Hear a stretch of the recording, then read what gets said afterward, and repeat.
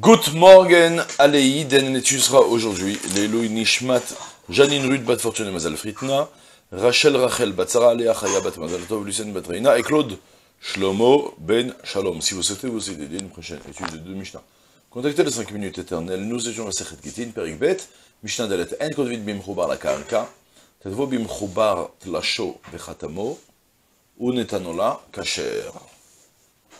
Rabbi Yoda, Possel. עד שתה כתיבתו וחתימתו בתלוש. רבי יהודה בן בטרה אומר, אין כותבין לא על הנייר המחוק ולא על הדיפטרה, מפני שהוא יכול להזדייף, וחכמים מכשירים. Deux sujets dans notre Mishnah. On commence par traduire. En kodvin bim la karka. On ne peut pas écrire un get sur quelque chose qui est fixé au sol. Mais cependant, kadvo bim si on l'a déjà écrit, alors que la chose, le, le support, papier, on va dire, le support du, get, était encore mechoubar, tlacho vechatmo, et que seulement après, une fois qu'on a, et qu'on fini d'écrire, on l'a retiré du sol, et chatmo, on l'a fait, on l'a signé, onetanola, et après, on lui, lui a donné, kacher, ce sera kacher a posteriori. J'explique de mieux, un peu mieux de quoi on parle. Imaginez, vous savez bien que, par exemple, si je veux, je peux écrire un get sur une brique, sur un tronc d'arbre. Mais il y a une condition sine qua non.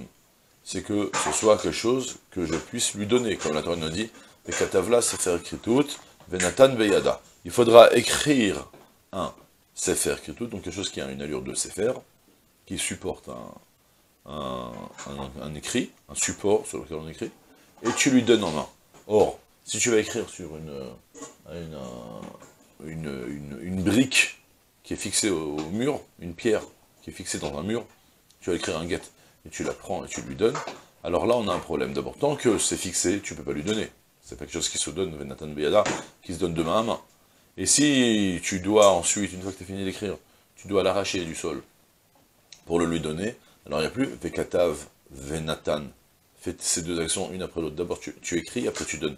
C'est Vekatav, Vetalash, Venatan. Et là, tu auras insisté que ce soit Vekatav, Venatan?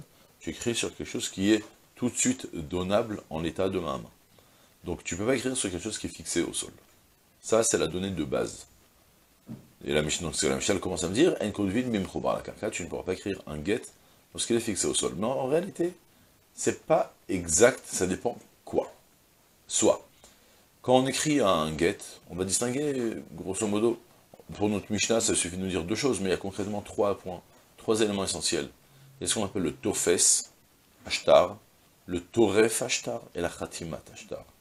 Tofes Ashtar, vous savez qu'il y a les... Le, quand, on écrit un get, on écrit, il y a 12 lignes dans un get qui est comme un grammata de Gimel et Taf, et tête, d'accord, ça fait 3 et 9, ça fait 12. Il y a 12 lignes, on y écrit toutes sortes de choses, plein de choses pour... Il faut embellir, que ce soit un texte clair, mais malgré tout, il faut savoir, le, le, le get qui, qui, fait le divorce proprement dit, c'est son nom à lui, à elle, à Ratmegourechet, et la date. Tout le reste, tout le reste comme quand on écrit des tas de...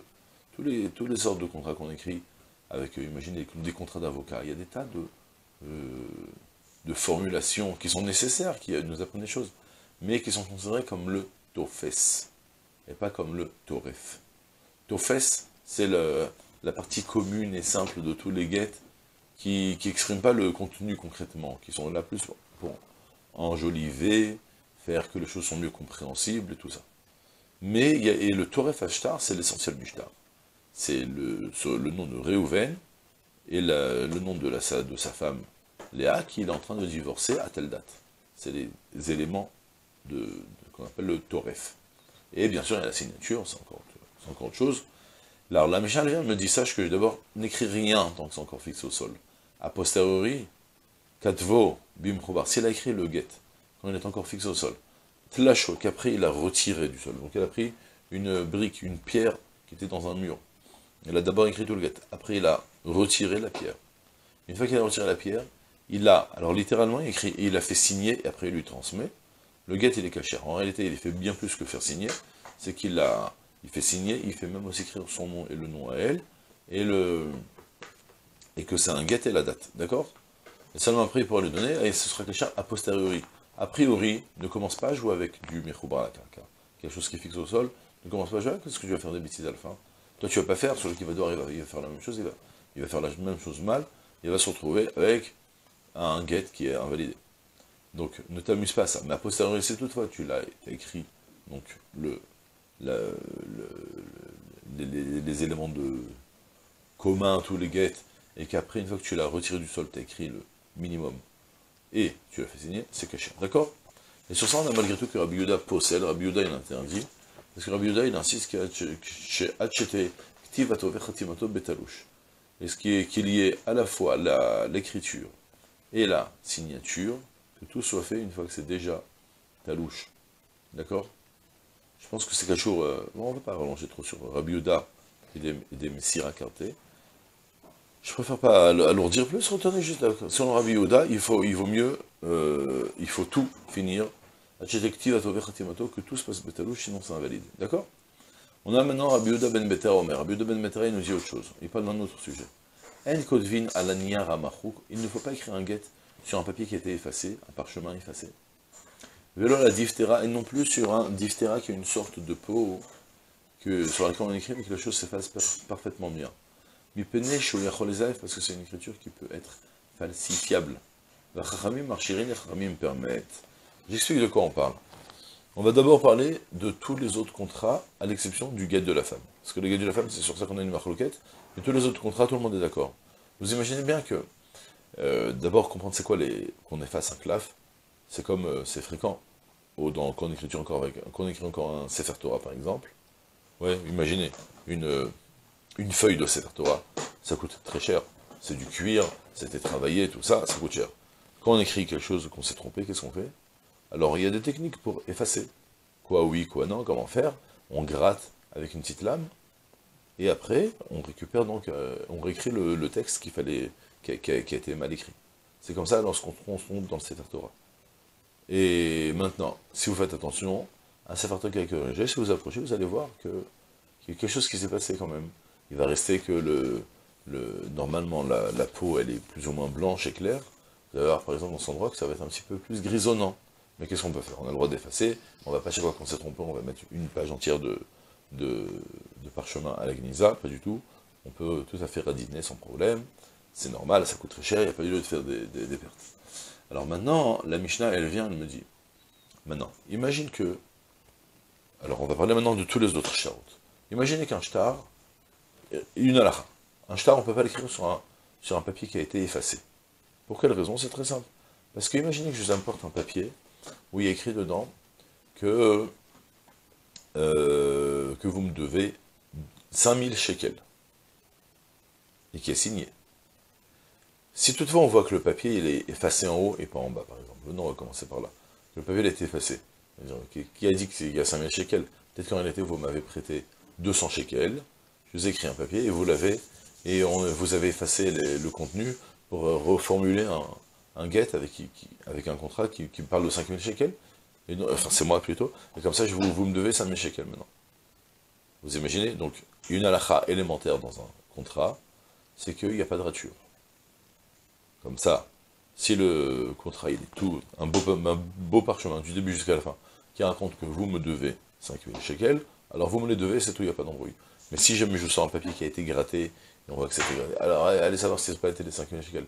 Donc du coup, à la maintenant, on n'écrit pas sur un papier qui a été, qui a été déjà effacé. Imaginons qu'on a récupéré une page de parchemin, on a tout effacé, tout ce qu'il fallait, et on veut réécrire dessus, on n'a pas le droit d'écrire un gars dessus, parce que c'est une écriture falsifiable. Et donc le, le get, il va plus pouvoir prouver qu'il a été bien écrit. Ok? Ça c'est l'avis de Tanakama pour le moment. Il va me dire que le get, c'est facile. Alors, on parle pour le moment de tous les autres shorts. Maintenant, pour le get, on a une marloquette qui va nous, qu'on a déjà évoqué plus que deux, trois fois déjà, une sorte de Edemesira avec Soit, pour le get, pour divorcer une femme, ah, j'ai oublié d'expliquer c'est quoi diphtéra. Diphtéra, c'est un sorte de parchemin, cette fois-ci pas qui est effacé, mais plutôt un parchemin qui est tellement lisse qu'on peut, avec euh, un peu d'eau et un peu, on frotte un petit peu énergiquement, et on efface ce qui est écrit. De nouveau, c'est une écriture, qu'on peut, c'est un parchemin, qu'on peut, un support de, de, de, texte, qui peut être facilement falsifiable, parce qu'en fait, on a des bonnes signatures des gens, on va se mettre à tout trafiquer, à tout effacer proprement, et après à réécrire ce qu'on veut. Et en fait, euh, on va écrire que, qu'il me devait une somme, astronomique, et donc il n'en est pas question, on ne peut pas sonder sur ces écritures comme ça pour les autres shtarot. Pour le get, spécialement, une marloquette. On a Rabbi Yehuda ben Betar qui va dire, ben, le get c'est la même chose, il faut que le get soit quelque chose qui soit apte à divorcer, et à prouver ensuite qu'elle est divorcée, pas quelque chose de falsifiable. Et sur ça, on a Chachamim de la Mishnah, qui viennent, qui me disent, non, Chachamim Marchirin, ça, ça, ça fonctionne comme Rabbi Yehuda avec sorte de Edemessir à carté. C'est-à-dire, selon Rabbi Yehuda, il va me dire, écoute-moi, je vais vous expliquer quelque chose. Le get, on écrit, et c'est vrai qu'on le signe. C'est vrai qu'on peut tout trafiquer, tout ce qu'il y a au-dessus. Mais c'est pas grave, parce qu'en réalité, ce qui fait, ce qui actionne le get, c'est pas les dîmes qui sont signés, c'est plutôt le fait que le get, il était donné devant deux témoins. Or, si je prends une écriture même falsifiable, je prends une ardoise, et j'écris à ma, femme que ça y est, je la divorce, et je donne cette ardoise devant deux témoins. Eux, ils ont vu que je lui transmis une écriture, ils ont pas besoin que ce get puisse ensuite être utilisé, être utilisé pour prouver qu'elle a été divorcée, puisque c'est aider mes siracartés. C'est les témoins qui témoignent de la transmission du get qui, eux, actionnent le divorce. C'est pas les témoins qui sont signés concrètement à la fin. Ouais, et donc dans ce cas-là, selon, selon alors on pourra même, même si c'est un papier qui est falsifiable, eh bien, il n'y a pas de problème de le donner pour un guet d'une femme, puisqu'il y a deux témoins qui au moment où il a divorce, d'accord? Et c'est tout pour aujourd'hui, c'est une journée pleine de comme tout, cela.